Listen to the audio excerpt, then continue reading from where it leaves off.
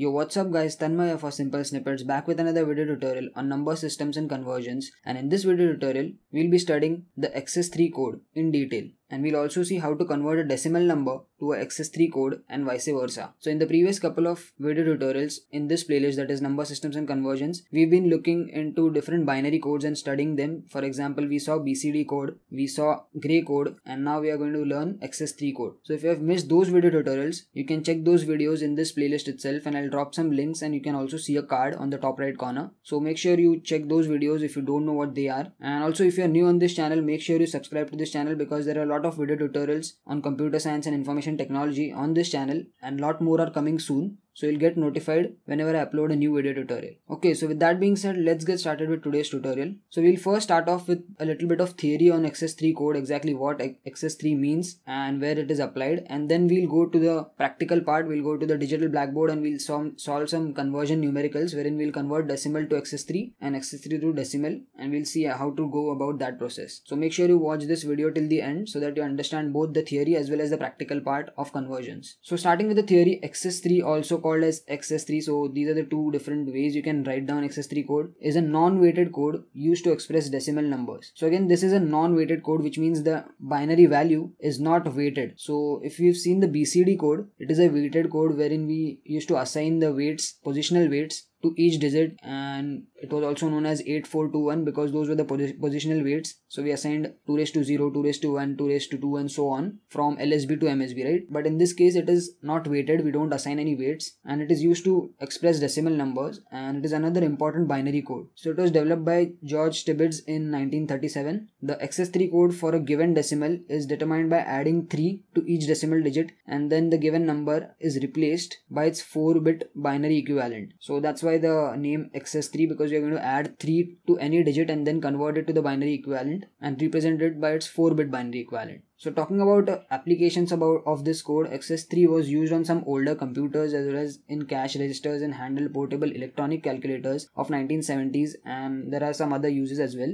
So it is particularly significant for arithmetic operations as it overcomes the shortcomings encountered while using the 8421 BCD code to add two decimal digits whose sum exceeds 9. So that's where XS3 has an advantage over BCD code. And this was a little bit about the theory as well as the application of XS3 code. Now let's move on to the actual conversion part. So let's move on to the digital blackboard. Okay, so as you can see on the screen, I have the conversion table for XS3 code. I have the decimal numbers in the first column, BCD code in the second, and the XS3 code in third. Now, as I mentioned, if you don't know what BCD code is, you can check out the videos from this playlist and I've extensively covered what BCD code is. Essentially, what BCD code is, is the representation of 4-bit binary value of every digit. So, 0 is represented by 4 zeros, 1 is represented as its binary value, and that goes till 9 so if you want to convert a two digit, two digit decimal number, for example 10, then we have to represent each digit by its binary representation and one would be represented as 0001. So this is going to be BCD and then the vice versa process happens. So that's what BCD code is in just a small gist. And this is the XS3 code. Now XS3 code is essentially adding 3, right?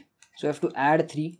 So basically 3 in binary is 0011 so you can see for decimal number 0, the BCD code is 0. But then when we add 3, the XS3 code is going to be 011 or 0011. For 1, you can see the BCD code is 0001. But when we add 3 to this 0001, we get a new value. And this is simple binary addition and you get 0100.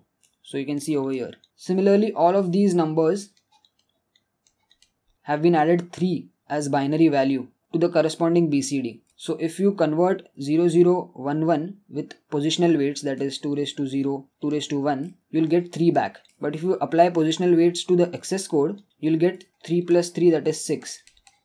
So positional weights for this is 2 raised to 0, 2 raised to 1, 2 raised to 2. So 2 raised to 2 is 4 plus 2 raised to 1 is 2 and you'll get 6. So that's why the name suggests excess 3 code that is we have to always add 3 and then convert it so for example, if you take the last case, if you apply positional weights to this BCD code, you'll get back 9. But if you apply positional weights over here, you'll get 9 plus 3, that is 12.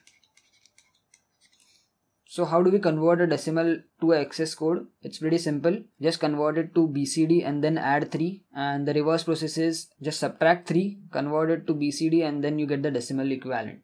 Okay, so now let's see the conversion process of decimal to XS3 code and excess 3 to decimal code. So the steps you can see as follows. You have to first take the decimal, then represent each digit of that decimal to its corresponding 8421 BCD code and then just add 0011 that is 3 in decimal to the to the code to each 4 digit blocks and then you get the XS3 code. So let's start off with the decimal to XS code first. So let, let me just write down the first question 56 in decimal. Now let's convert it to its corresponding 8421 BCD code. So 8421 BCD code is 0110 so this is the binary equivalent actually. And then the 4 bit binary equivalent for 5 is 0101. Then the step 2 would be just add 3 to each of these 4 digit blocks. So 0011 we have to add over here and here and after taking addition we'll get 1001 that is 9 and 5 plus 3 would give us 8 so that would be 100 and 0. So this is going to be the final answer that is the XS3 code. Okay so this is just adding 3 in decimal.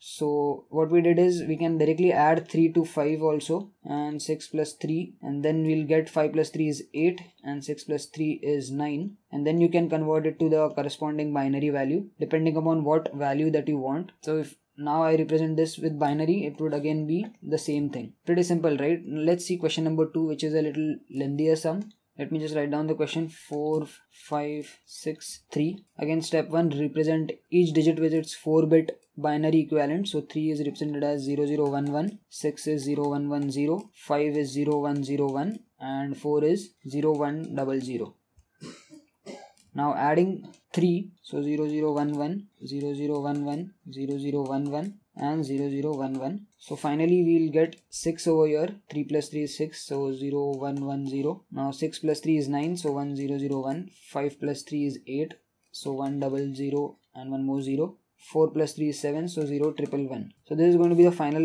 XS3 code answer so this is pretty straightforward and pretty easy to solve. Just two steps, just represent every digit of the decimal number with its corresponding 4-bit BCD code or binary code which is one and the same for at least 0 to 9 and then we just add 3 in binary that is 0011 to each of those 4 bit blocks and we get the corresponding XS3 code. So the reverse process is also similar to what we did from decimal to XS we just have to take the reverse process. So initially we have the XS3 code we subtract 0011 from each 4 bit blocks then we get the corresponding bcd code 8421 code and then we directly convert it to decimal. So let's see question number one over here. Let me just write down the question. 100 then 1010 and one triple zero. So we have to take groups of four bits starting from right to left. So this is going to be first block this is the second and this is the third. So these are excess code blocks. Now we have to subtract 0011 from each of these blocks so this is 8 8 minus 3 is going to be 5 so you'll get 0 1 0 1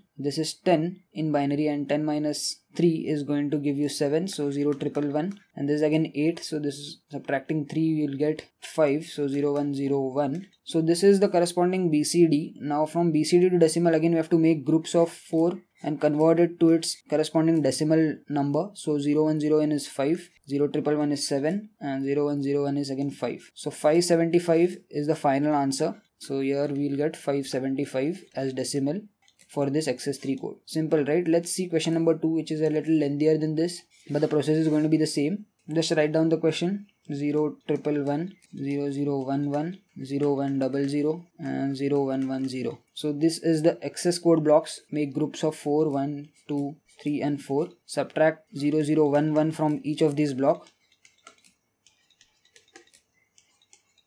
so 6 minus 3 is 3 so 0 0 1 1 this is 4 minus 3 is going to be 0 0 0 1 this is 3 minus 3 is going to be 4 times 0 this 7 minus 3 is going to be 0 1 0 0 that is 4 so we got the corresponding bcd 4 blocks. That is binary equivalent. Now just take 4 4 block digits and convert it to the, its decimal format. So 0 0 1 1 is 3 0 1 is 1 4 times 0 is 0 and 0 1 0 0 is 4 4013 in decimal is the final answer over here. 4013 4013 is the decimal value for this long XS3 code okay pretty simple right? So this was about the conversion from decimal to XS3 and vice versa. So that's it for this video guys. I hope you understood the concept of XS3 code what exactly XS3 code is it is a non-weighted binary code and where it is applied and little bit of theory about XS3 code. And then we also saw the practical conversion part wherein we converted a decimal number to XS3 and vice versa. So if you like this video, give it a thumbs up, share it with your friends and make sure you subscribe to this channel.